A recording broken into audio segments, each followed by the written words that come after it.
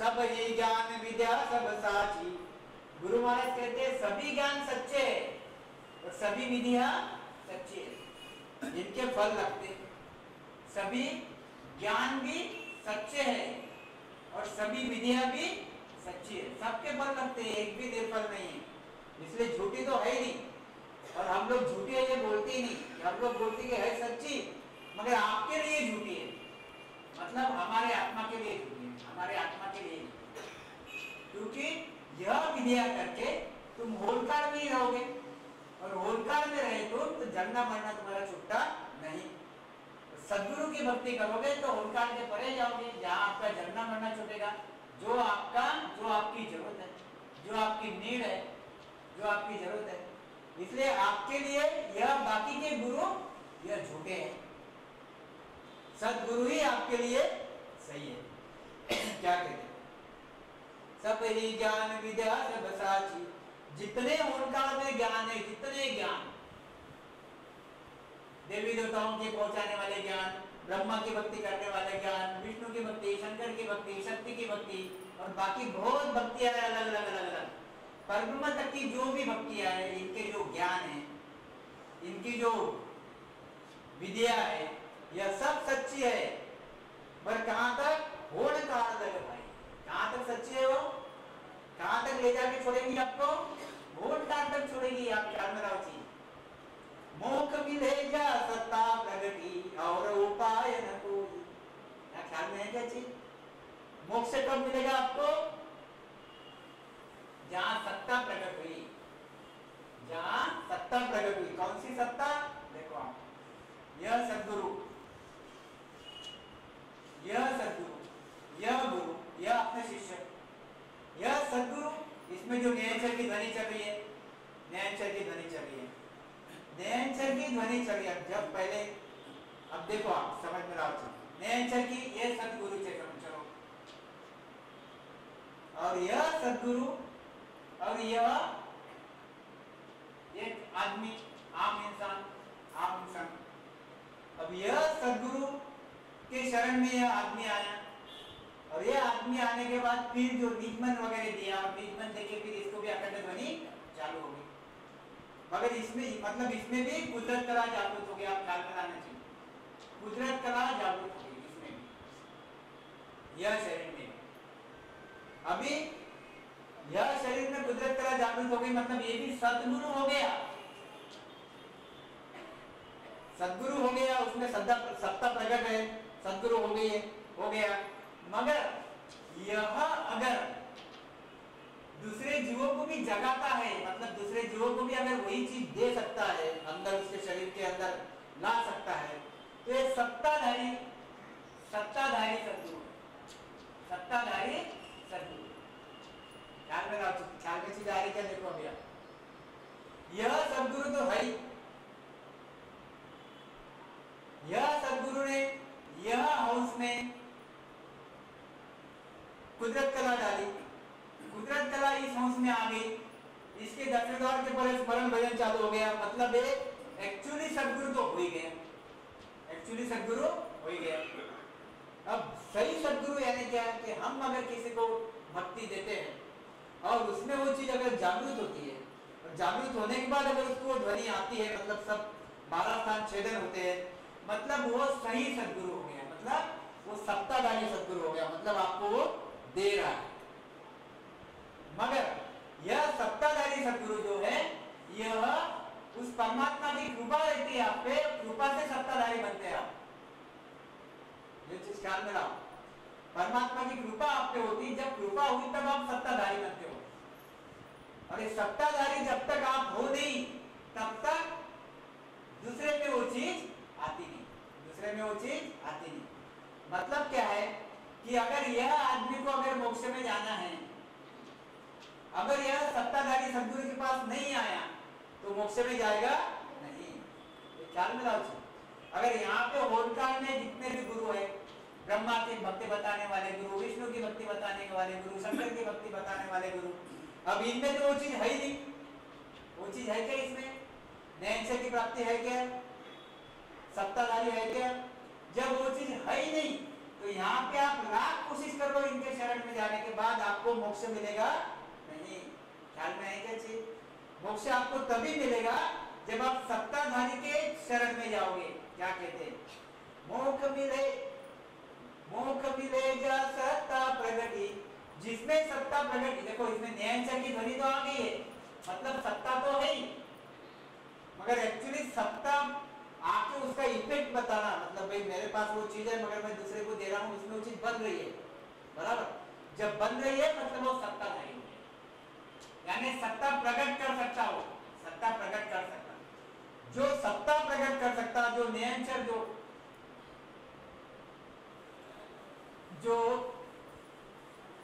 कुदरत का जागृत कर सकता दूसरे में, छोटी सी भाषा में, यह सदगुरु फिर यह भी सदगुरु तो बन गया।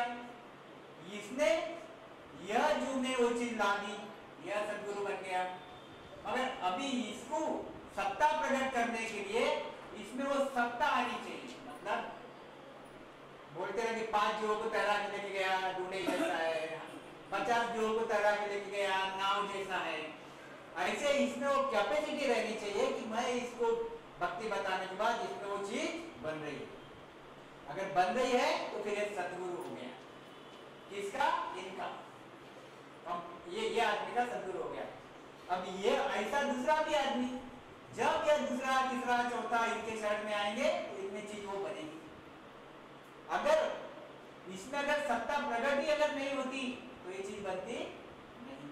तो गुरु महाराज यही कहना चाहते हैं, मुख मिले जा सत्ता प्रगति, और उपाय नकाई बाकी कोई भी उपाय नहीं है। मतलब क्या चाहिए आपको? मतलब सदगुरु यानी क्या? बोलो आप सदगुरु यानी क्या? एक आधा कोई आंसर दो। सदगुरु यानी क्या?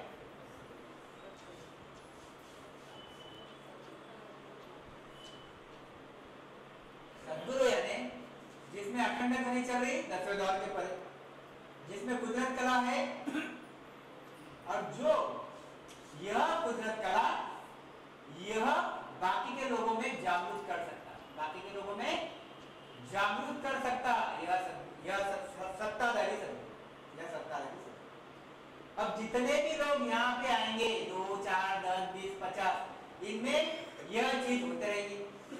सत्ता जागरूक होते रहेगी, कुदरत कला होते रहे, आते रहेगी, और ये इन लोग मोक्ष में जाते रहेंगे। इन लोग मोक्ष में जाते रहेंगे। यह भूतकाल में जो संत है, इनके अगर शरण में ये लोग गए, ये यहाँ के लोग गए तो वो मोक्ष में नहीं जाएँगे, क्योंकि उनमें कुदरत कला जागृत करने की ताकत नहीं है। इसलिए मोक्ष में नहीं जाएँगे। ये चीज़ ख्याल में लाओ चीज़ आप। देखो क्या कहते हैं अभी। और बस्ता की, और बस्ता बस्ता का बीज जगत में। ये बहुत बढ़िया चीज़ है, देखो आप क्या कहना चाहते हैं गुरु महाराज इतना सब कुछ क्यों बताते और बस्ता का बीज जगत में, कर उपाय जगावे। मिण के बीज नहीं पारस के ना किया बनावे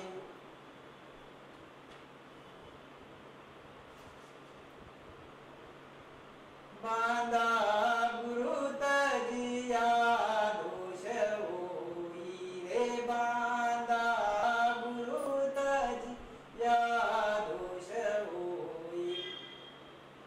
क्या कहते हैं और बस्ता की बीज जगत में बस्ता यानी वस्तु ये भी देखो अभी आप ये बहुत बड़ी चीज़ आपको समझना पड़ेगा क्या होना चाहते हैं महाराज ये बाकी के वस्तु के बीज जगत में रहते हैं वस्तु वस्तु का बीज जगत में रहता है जैसे सर की सर की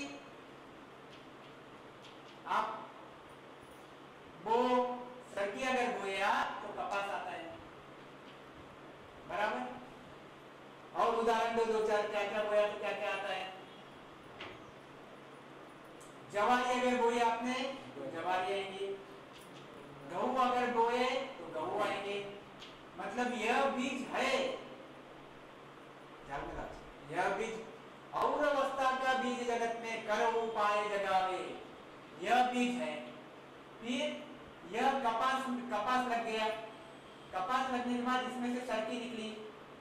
और के निकलने के बाद वापस ये बोए जाती मतलब उपाय करते आता उसको। उपाय करते आता। ऐसे ही जवारी, यहाँ पे जवारी के भुट्टे आते, उसमें से जवारी निकालो आप, और फिर जवारी लगा दो तो वहाँ पे जवारी वापस आना चालू हो जाएगी। मगर, क्या कहते हैं?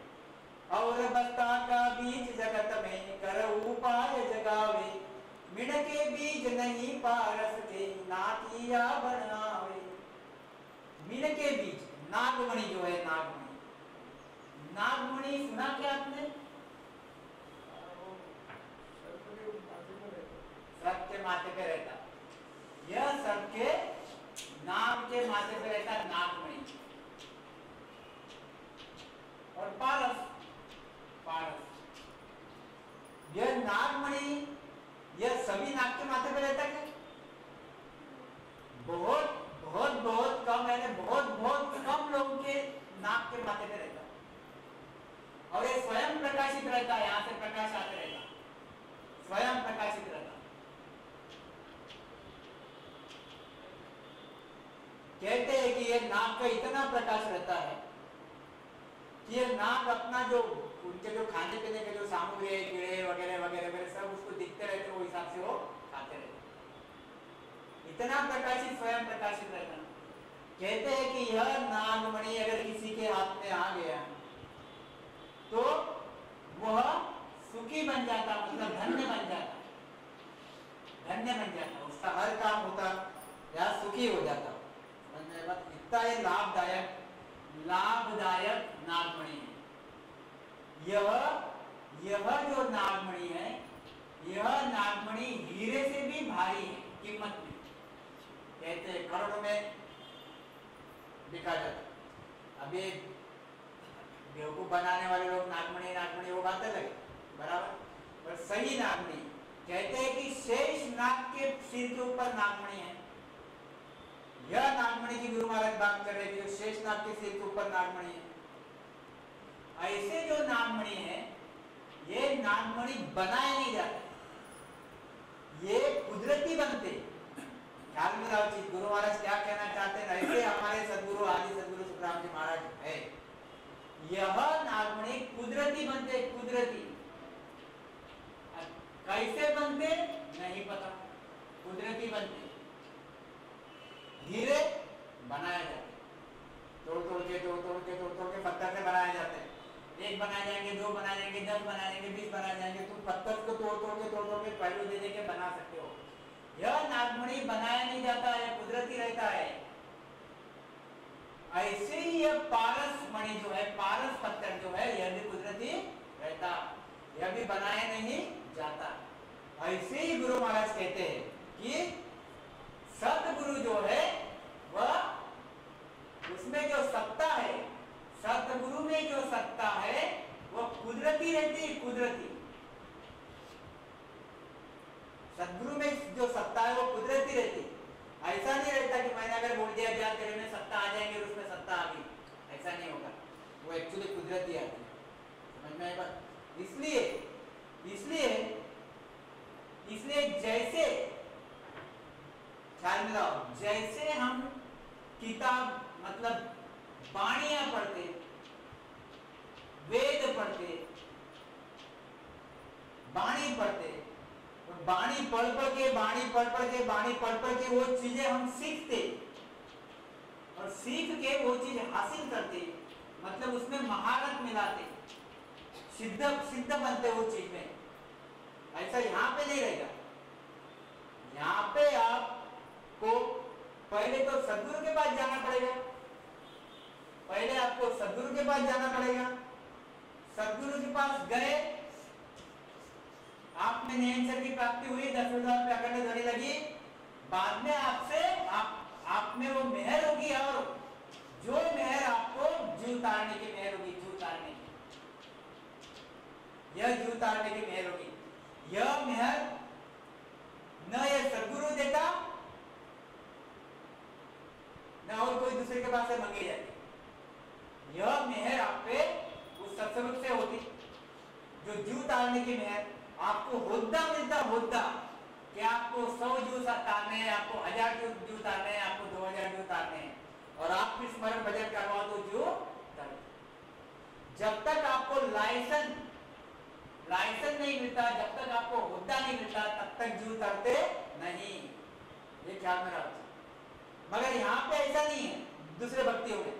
आप बाणी पढ़ो बाणी पढ़ो, खूब करो खूब करो, ज्ञान आत्मसात करो, ज्ञान आत्मसात करो, आपको चीज़ तो यही गुरु महाराज फ़र्क बता रहे बहुत भारी फ़र्क, बहुत बड़ा फ़र्क है।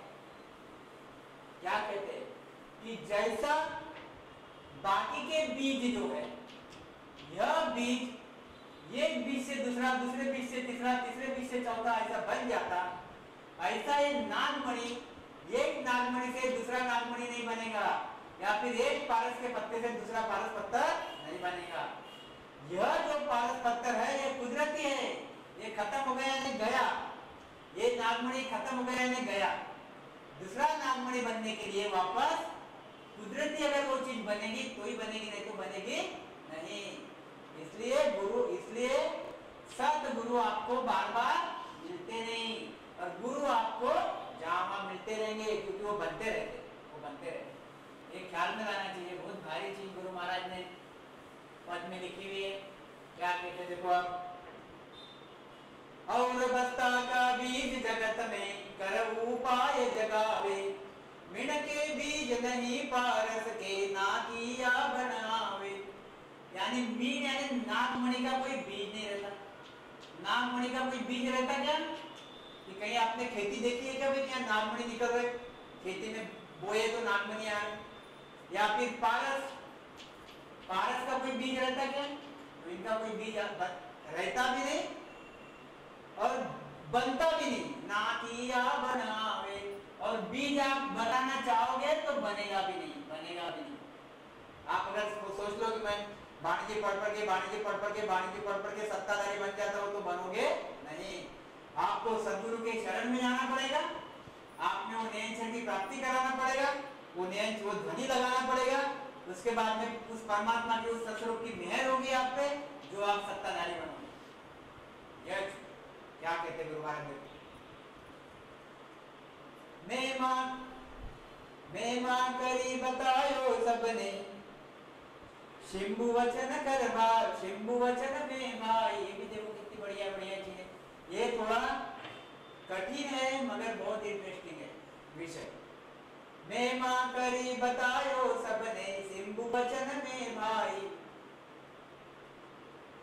यह यह सदगुरु सत्ता, यानी सदगुरु, इसकी जो सत्ता है, सदगुरु की जो सत्ता है, ये गुरु। सदगुरु की सत्ता, जो सत्ताधारी सदगुरु है इनकी सभी ने मेहमा की हुई है, मेहमा। यानी तारीफ़ की हुई तारीफ़ की हुई है, बड़ी चीज़ मानी हुई है और बहुत बड़ी चीज़ मानी हुई है सदगुरु सत्ता। सदगुरु सदगुरु सत्ता। क्या कहते सभी ने मानी हुई मेहमा करी बतायो सबने। जिन्होंने जिन्होंने ग्रंथ लिखे, जिन्होंने जिन्होंने बाणिया लिखी, जिन्होंने जिन्होंने ज्ञान बताया, जिन्होंने जिन्होंने ध्यान किया सभी ने एक ही चीज़ कही, क्या कही? कि सदगुरु के सिवा मोक्ष मिलता नहीं, सदगुरु की महिमा की। सिंबु बचन में भाई, और ये शंभु है, शंभु यानी महादेव। इसने भी महिमा की इसने भी महिमा की, क्या महिमा की? कि यही महिमा की, कि सदगुरु सत्ता बहुत भारी है, बहुत भारी है। सदगुरु की सत्ता में अगर जाओगे आप, सदगुरु के शरण में अगर आप जाओगे तो ये आपका मोक्ष होगा, नहीं तो मोक्ष होगा नहीं। मैं माँ करी बतायो सबने सिंधु बचन में भाई। आजा सत्ता प्रगति जमा जा करनी रहे न काई। ये देखो कितनी बारी चीज़ है। ये चीज़ ख्याल में लाओ, वापस। जिसमें यह सत्ता है जिसमें यह सत्ता है, सदगुरु सत्ता, सत्स्वरूप की सत्ता सत्स्वरूप की सत्ता, जिसमें है, जहाँ सत्ता प्रगति जाना करनी रहे नकाई जिसमें जिसमें सत्ता है। अब इसमें सत्ता प्रकट हुई और यहाँ प्रकट करवा रहा। तो इसने बाणी बाणी लिख दी। बाणी गुरु महाराज ने लिख दी। बाकी भी संतों ने बाणियाँ लिख दी। लिख दी बाणियाँ। पर बाणी में सत्ता नहीं है। बाणी आपको फक्त ज्ञान दे रही है। ज्ञान बता रही ज्ञान सुना रही आप सोचोगे, अगर बाणी पढ़कर पढ़ पढ़ के मैं सत्सुरूप में चले जाऊँगा तो कभी भी सत्सुरूप में जाओगे नहीं। तो बाणी में सत्ता नहीं है। सत्ता काय में है? इस शरीर में। जो सत्ता है वो संत सत्ता लेके आए हैं। तो क्या कहते हैं कि जहाँ ये सत्ता प्रकट हो गई, यहाँ पे सत्ता प्रकट हो गई। तो अभी इनको कोई भी प्रकार की करनी करने की ज़रूरत है नहीं, और इन्होंने कोई भी प्रकार की करनी आपके लिए छोड़ी नहीं। जैसे वेद में करणियाँ छोड़ के रखी हुई है कि भाई वेदों की भक्तियों में यह आसन करो, या फिर यह क्रियाएँ करो, या फिर यह करनियाएँ करो, यह करो। ऐसा वेदों में लिखा हुआ है? भेद में महादेव के बारे में लिखा हुआ है। हट योग साधना हट योग साधना, ऐसी करो, वैसी करो वैसी करो लिखा हुआ है। आप वैसे करते रहोगे करते रहोगे तो आपको उसका फल मिलता रहेगा। आप उस चीज़ में माहिर हो जाओगे। मगर यह बाणी के हिसाब से अगर आप चले, बाणी के हिसाब से आप चले तो आपको चीज़ मिलेगी नहीं। ये बहुत भारी बहुत भारी फ़र्क है। तो इन्होंने कोई करनी रखी ही नहीं कि बाणी में कोई आपको करनी रख दी या फिर कोई ऐसा विचार रख दिया कि आप ऐसा करो तो आपको मोक्ष मिल जाएगा। ऐसा लिख के रखा है, मगर मोक्ष नहीं मिलता। ये भी उसमें बता दिया है कि ये प्रोसेस बता दी बाणी में बाणी में प्रोसेस क्या बता दी? मस्त बैठो आप। और पूरे पीठ वगैरह एक जैसी बराबर रख के खूब रामस्मरण आते जाते, श्वास में रामस्मरण करो, आते जाते श्वास में रामस्मरण करो, राम। ये प्रोसेस बता दी। और आप लाख प्रोसेस करते रहो ये। आपको चीज़ मिलेगी नहीं। जब तक आप सदगुरु के शरण में जाओगे नहीं। क्योंकि वह चीज़ वहीं से मिलेगी, क्योंकि सदगुरु को आपको निजमन देना है। और सदगुरु को यानी सत्य स्वरूप को सत्य स्वरूप को निजमन देने के बाद आप में वो प्रकट होगी, मेहर होगी उसकी।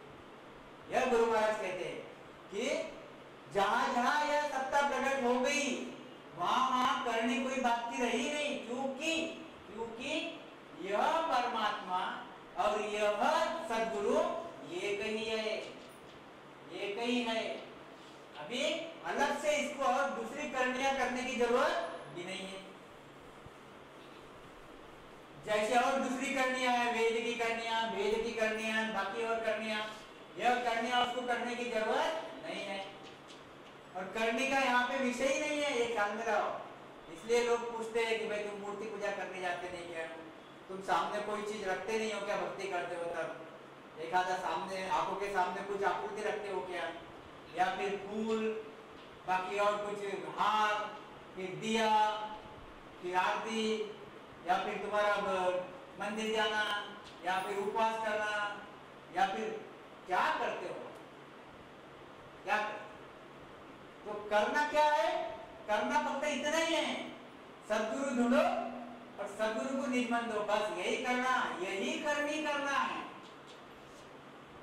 बाकी दूसरी कोई करनी है नहीं करनी। ये ख्याल रखो अगर इस कितना सोपा काम? है एकदम सोपा काम है। बट काम क्या कठिन है इसमें?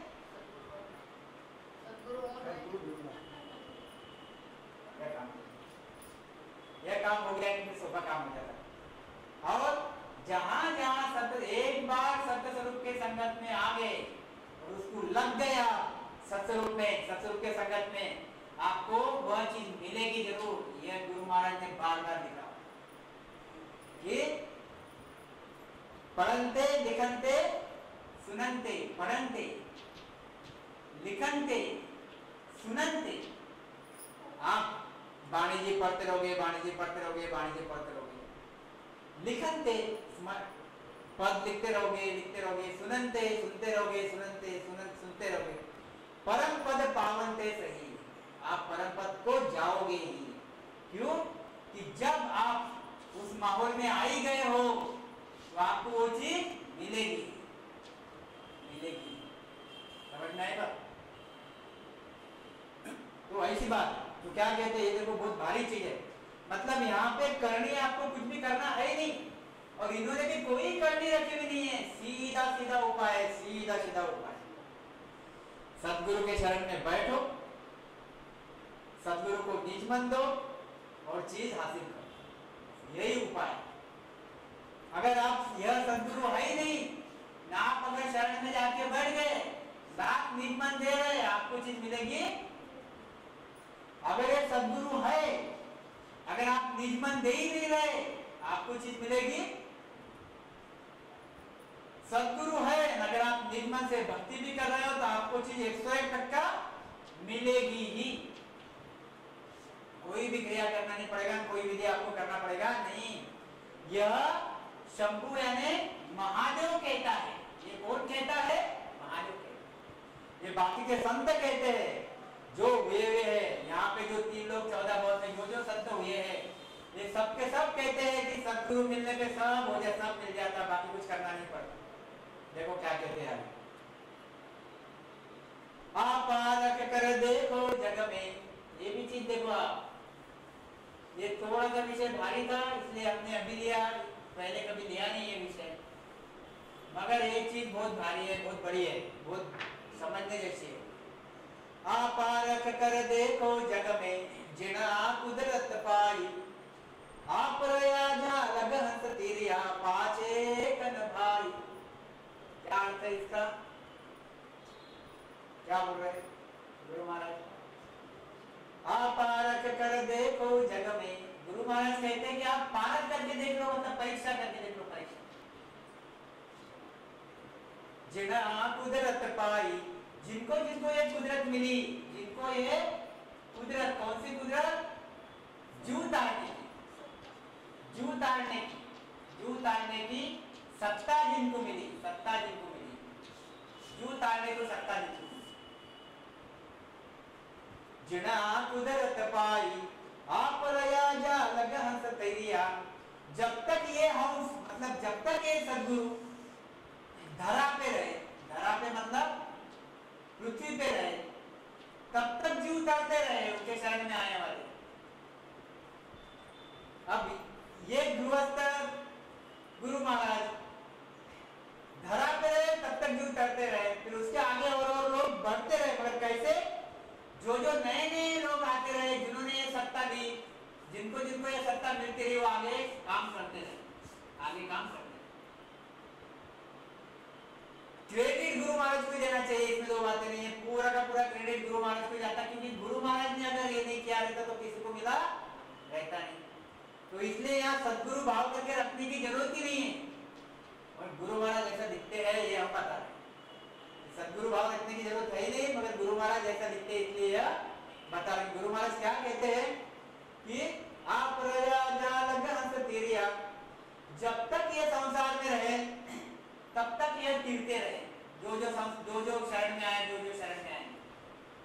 ये जाने के बाद, ये जाने के बाद फिर इन्होंने जो बाणी लिखी, इन्होंने जो उसमें बातें बताई, वो अगर आप फॉलो करते रहे तो वो चीज़ बनी नहीं। बाणी लिखी, उन्होंने जो बातें बताई, उन्होंने स्मरण कैसे करना, ये बताया। उसको अगर हम बराबर बराबर करते रहे तो भी वो चीज़ बनी नहीं क्यों? कि सत्ता ज्योति इनके साथ ही चलेगी। सत्ता ज्योति इनके साथ ही चलेगी। और ऐसी सत्ता वापस दूसरे में यह नहीं दे सकता। सदगुरु ऐसा नहीं दे सकता कि जा तेरे में सत्ता मैंने दे दी। ऐसी ट्रांसफ़र नहीं की जाती सत्ता।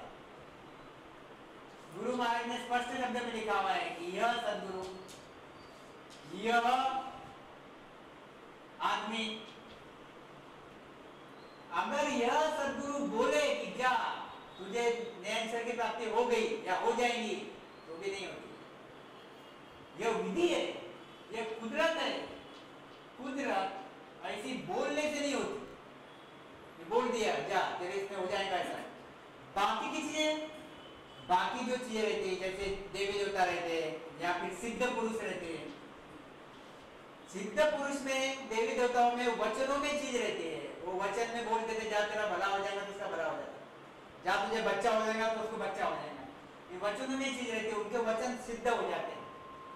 मगर यह मोक्ष का जो रास्ता है, यह मोक्ष के रास्ते में ऐसे बोलने से चीज़ नहीं मिलती। लक्षात आला का, यह चीज़ कैसी मिलती कि यह गुरु तो सदगुरु तो है ही, वो तो कैपेबल है ही, वो तो देंगे ही देंगे आपको। मगर आप उतना नियमन देना चाहिए। उतना आप केस बराबर अंतरा में रखना नहीं चाहिए। एक जीव होना चाहिए। किससे? उस सदगुरु से उस सत्य स्वरूप से उस, उस कुदरत कला से। जब ऐसा आप एक जीव हो जाओगे जब कोई भी अंतर नहीं रखोगे तो उस कुदरत कला की मेहर होती जो आप में समझ में कुदरत कला की मेहर होने के बाद आप में ध्वनि लगती प्लीज़ और कितने जू तारना यह भी आपको होद्दा मिलता। और जब होद्दा मिलता, तब आप जू तारने लगता लगते हो। जब आपसे जू तैरे जाते मतलब यह अगर शरीर छूट गया तो इन्होंने बताई हुई वाणी पढ़ पढ़ के जीव नहीं तैरेंगे इनके जो शिष्य है, जिन्होंने कुदरत कला है मगर सत्ताधारी नहीं है। जिनको हुद्दा नहीं दिया हुआ कि भाई चल, इनको दस का हुद्दा दिया है, दस जू उतारो अगर हुद्दा दिया नहीं है तो उनके साथ बैठेंगे तो भी जू तैरेंगे नहीं। भक्ति का, भक्ति में लग जाएँगे। भक्ति में लग जाएँगे। स्मरण भजन करेंगे। मगर करना नहीं होगा। आप ये चीज़ बहुत ख्याल में रखो। इसलिए गुरु महाराज ने कहा कि सबसे सत्ता कैसी है? यह सत्ता कुदरती है। यह बनाने से नहीं बनती, बनाने से नहीं मिलती। बनाने से नहीं, इसकी निर्मित नहीं होती। जैसे नागमणि है नागमणि बनाने से नहीं बनता, ये कुदरती बनता। ऐसे ही ये सत्ता भी कुदरती आती है। सत्ता भी कुदरती आती है ख्याल में रखना चाहिए। बहुत भारी और अच्छी चीज़ है। और फिर यह चले गए तो सत्ता भी इनके साथ चली जाए विषय ऐसे अभी देखो आप पंत प्रधान पद जो है, पाँच साल का, सत्ता है।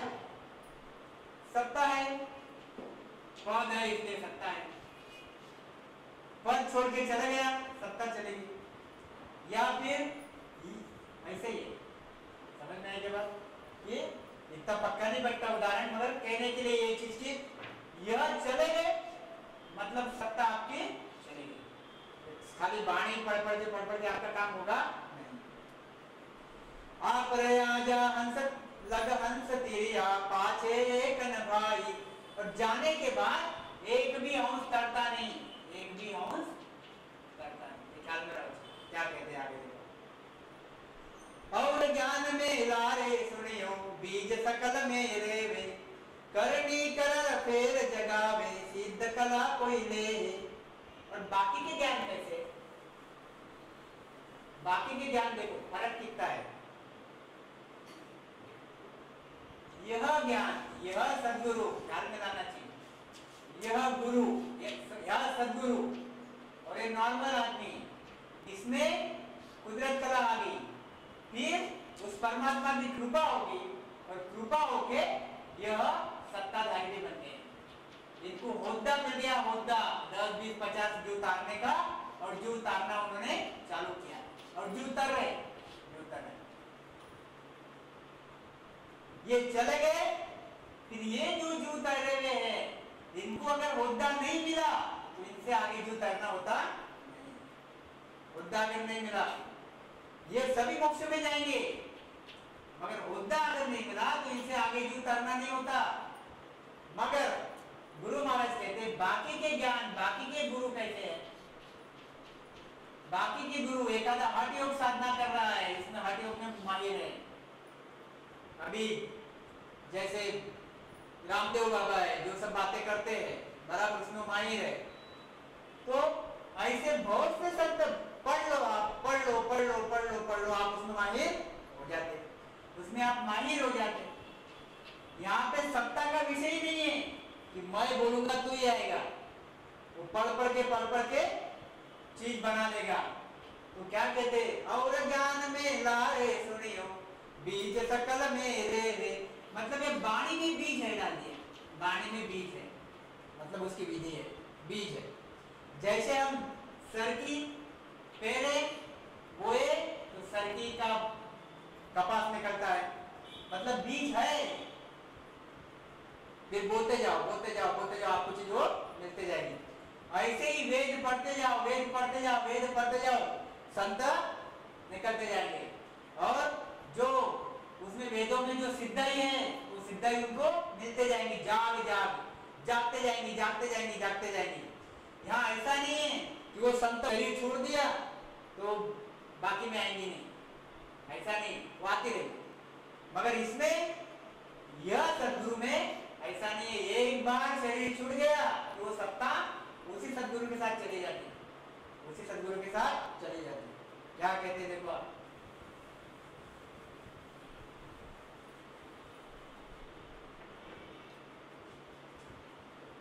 और ज्ञान में लाए सुनिया, बीज सकल मेरे वे करणी कर, फेर जगावे, सिद्ध कला कोई लेवे इण तो सत्ता माय गुण होई, जो पारस में होई। देखो ये यहाँ पे गुरु महाराज ने और भी बता दी चीज़। समझने जैसी चीज़ें है। इण तो सत्ता माय गुण होई। यह सत्ता में यह गुण है। कौन सा गुण है? सत्ता में गुण है। कौन सा? जो पारस में होई, जैसे पारस पत्थर में, पारस पत्थर जो है, पारस मणि जो है, पारस पत्थर जो है, उसमें गुण है। क्या गुण है?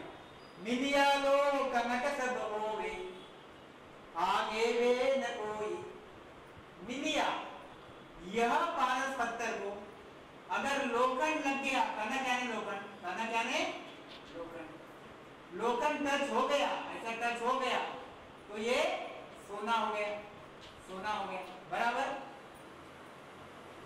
यह पारस को यह लोखंड लग गया तो ये सोना हो गया क्या कहते तो अगर सोने को वापस लोखंड लगाओ तो सोना होगा क्या ख्याल में के बाद दिलीप भाऊ नहीं समझ रहा ख्याल में आने के बाद यह पारस को अगर आपने लोखंड क्योंकि पारस में सत्ता है क्या सत्ता है कि लोखंड को सोना बनाने की गुण है लोखंड को सोना बनाने का गुण है तो पारस को बराबर लोखंड लगा दिया उसमें इतना सा भी कुछ अंतर नहीं रखा और लोखंड लगा दिया तो ये लोखंड सोना बनना ही है। क्योंकि उसमें वो गुण है। मगर ये सोना बना हुआ जो सोना है, उसको अगर आप लोखंड लगाओगे तो सोना बनेगा नहीं। क्योंकि उसमें वो गुण नहीं है। मतलब उसमें वो सत्ता नहीं है। ऐसे ही सदगुरु, जो सत्ताधारी है उनके चरण में जो जो शिष्य आए ये शिष्य आने के बाद सोना तो सभी बन गए सोना सभी गए सभी को दस हज़ार की मदद होने लग। गई मगर फिर से पारस कोई नहीं बना। कोई कोई बना कोई कोई नहीं बना, नहीं, कोई कोई बना। और जो पारस बना, यानी जिसने सत्ता लाई, उस परमात्मा से। दस जो उतारने की, पचास जो उतारने की, सौ जो उतारने की, हज़ार जो उतारने की।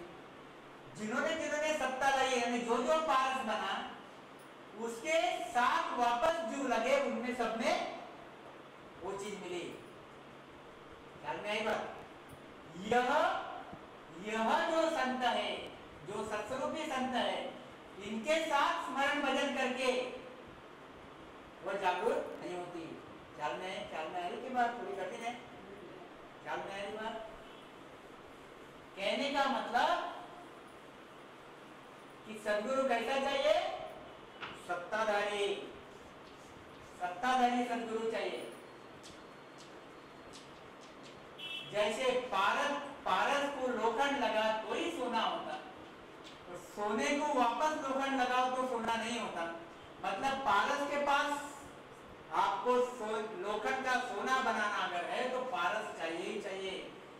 ऐसे ही अगर आपको मोक्ष में जाना है तो सत्ताधारी सदगुरु चाहिए ही चाहिए। ये ख्याल रखो आप। मिलिया लो कनक सब बोवे आगे वे न कोई क्या कहते ब्रह्मा विष्णु महेश्वर पासे नाव कला नहीं होई ब्रह्मा विष्णु महेश्वर पासे नाव कला नहीं होई देखो अभी आप संसार के पंचानवे लोग पंचानवे टक्का लोग ब्रह्मा विष्णु महेश की पूजा करते हैं ब्रह्मा, विष्णु, महेश और शक्ति इनकी पूजा करते हैं पंचानवे टक्का लोग यानी सगुण की भक्ति। और ये निर्गुण की भक्ति। और ये सतस्वरूप की भक्ति यानी सदगुरु की सत्ताधारी सदगुरु की ब्रह्मा, विष्णु महेश्वर पासे नाव, कला नहीं हुई। गुरु महाराज कहते हैं कि इनके पास वो नाव की कला है ही मतलब वो कुदरत कला जो है, कुदरत कला इनके पास है ही नहीं। जब इनके पास कुदरत कला है ही नहीं तो इनके शरण में जाने के बाद आपको मिलेगी कैसे? मिलेगी क्या? फिर इनके शरण में जाने के बाद मोक्ष होगा क्या? हुआ क्या क्लियर कि इनके शरण में जाने के बाद मोक्ष होता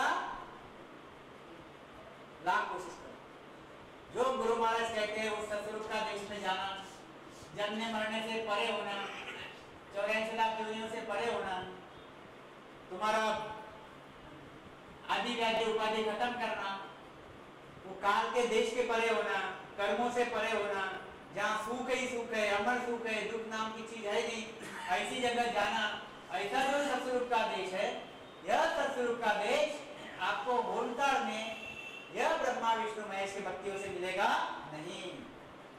ब्रह्मा, विष्णु महेश्वर पासे, नाव कड़ा नहीं होई। और शिष्ट की कूण चलाई सक्त न जाने कोई। गुरु महाराज कहते, बाकियों बाकियों की क्या? अरे ब्रह्मा, विष्णु, महेश के पास ही नहीं मिल रही है आपको। ब्रह्मा, विष्णु, महेश के पास ही नहीं मिल रही। तो ये देवी देवताओं की बात क्या?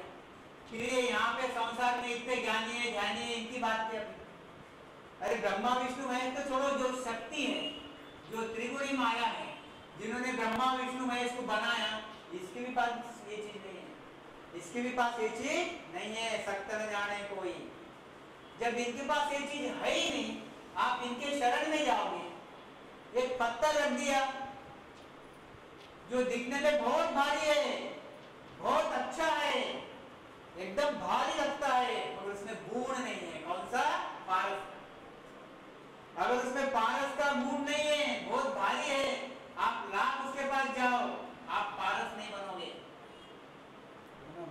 या फिर आप सोना नहीं बनोगे आप सोना तभी बनोगे जब पारस के कांटेक्ट में आओगे वही चीज़ है आगे देखो क्या कहते हैं जो इतबार न मानो कोई बचन हमारा भाई गुरु महाराज को ये बोलना पड़ता अगर मेरे पे आपको भरोसा नहीं है विश्वास नहीं आता मैं जो बोल रहा हूँ ये सब चीज़ें सोचो ये पद बहुत भारी है इसलिए आप बहुत कॉन्सेंट्रेशन से सुनो इसमें आपको उबासी आएँगी आलस आएगा हो सकता क्यों कि यह पद जो है यह पद सुनने के लिए थोड़ी सी